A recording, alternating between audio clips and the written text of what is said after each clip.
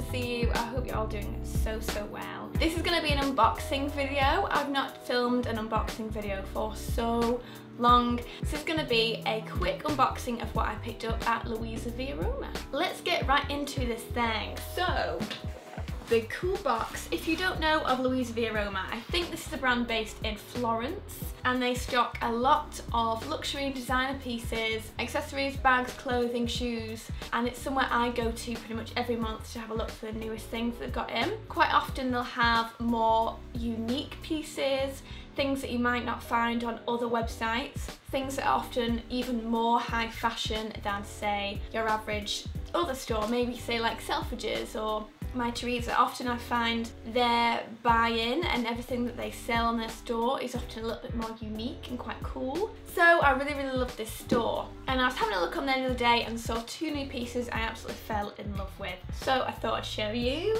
Let's open up this box.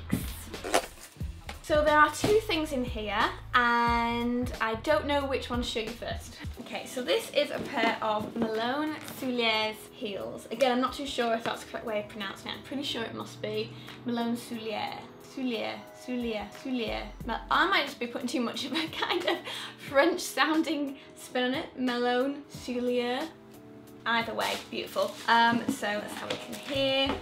I really, really love this brand. And these shoes are very similar to a pair I saw last year and was so smitten with them and they kind of sold out everywhere and then I saw they brought them back but in a slightly different style. Okay, I just really really love these. Here they are. So they are, I think this is a 10 centimeter heel, pointed toe because I always go for pointed toes, I just think they look a little bit more sexier, especially for my kind of shape, I just like them more. Um, and the ones that I've seen in the past they had the two straps like this but they kind of cut off here. They didn't have this top bit so almost like hung to your foot and they were just so sexy. But then I saw that these have been brought out with extra ankle strap and the zips to the back and just really love the colours. The navy with silver I thought were just so beautiful. So I thought I'd give them a go. It's a really really beautiful suede. This is kind of like a patent silver leather. It's a very flat ordinary sole. Aren't they gorgeous okay, so, so far so good. And the next thing I picked up was from Saint Laurent. I saw this last month and just thought this was one of those more affordable I say affordable because usually things are kind of over a thousand pound.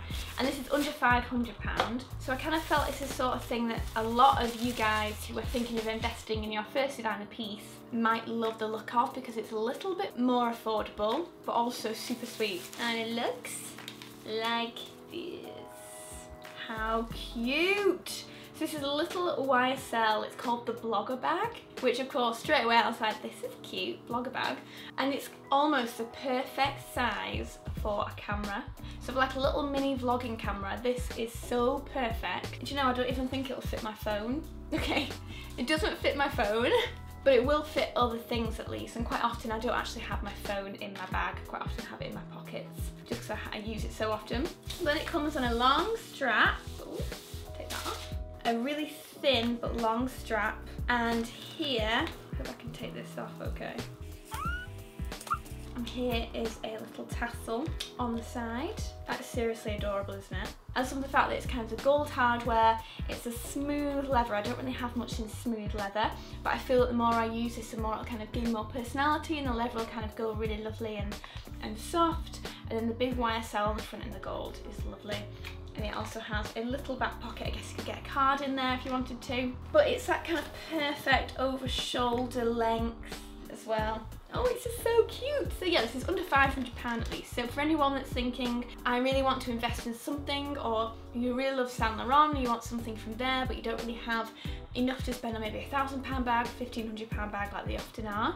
thought this would be quite a nice little investment piece. Inside it's got a few little card holder sections in there. But yeah, the kind this is the kind of thing you could probably fit a few lipsticks, your cash, your keys, camera, and you'd be good to go. But of course, if you've got an iPhone 6 Plus, it's not going to fit. An iPhone 5 would fit in there.